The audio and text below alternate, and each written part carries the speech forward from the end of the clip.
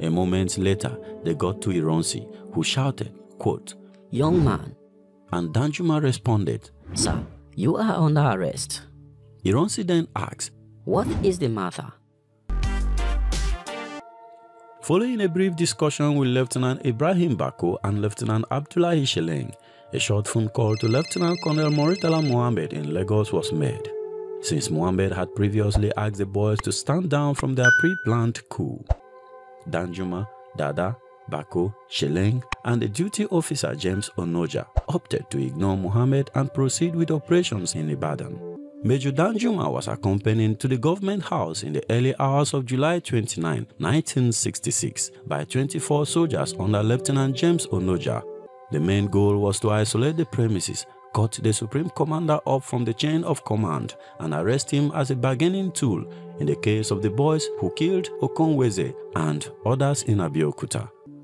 Danjuma was under pressure from the boys on the ground to continue the operation once the building was surrounded. But Danjuma stood firm against the pressure. Lieutenant Sani Bello, who was Ironsi's army ADC, emerged from the building at 6.30 am to find out what was going on. He was arrested and told to remove his shoes and sit down on the ground.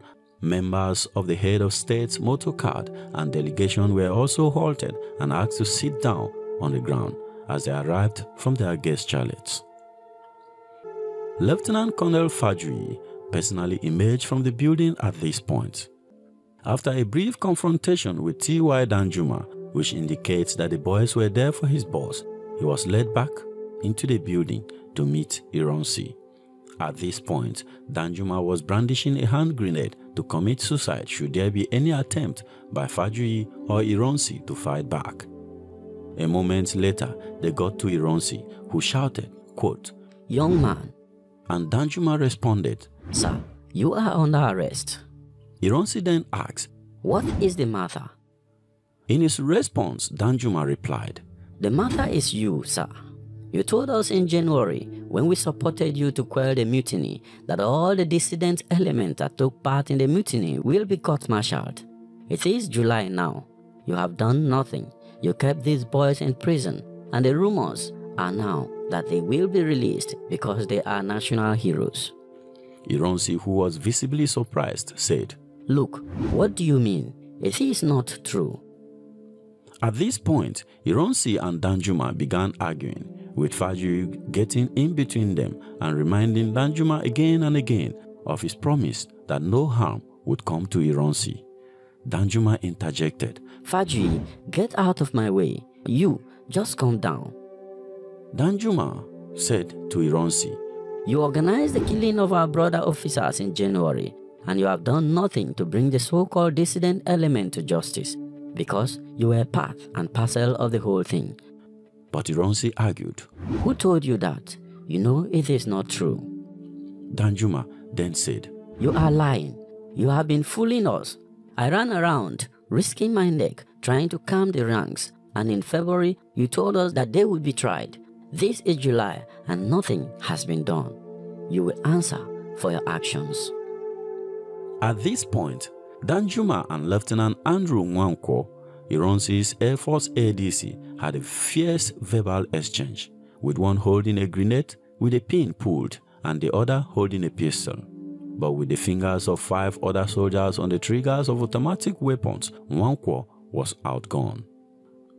When the group got downstairs, Danjuma instructed the adjutant of the 4th Battalion, Lieutenant Garba Dada Paiko, to take the pair to the guest house at Mokwa, pending death or full inquiry.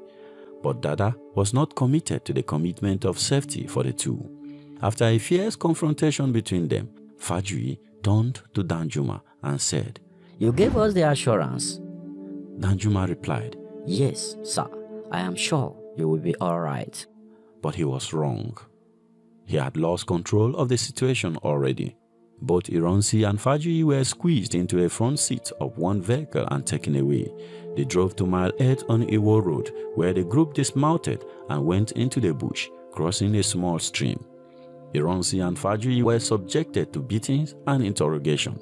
It has been reported that Ironsi was shot by an angry northern officer because he refused to respond to questions and confess his role in the January coup. Sources say this officer was Sergeant Chijani. Fajuyi was not spared either. He was also shot. Although the Western Region publication Fajuyi the Great, published by the Ministry of Information in 1967 after his official burial said he had offered to die rather than abandon his guest.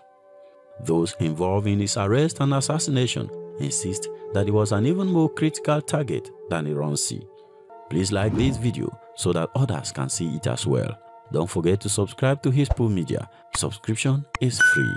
Thank you very much for watching. See you in the next video. Peace.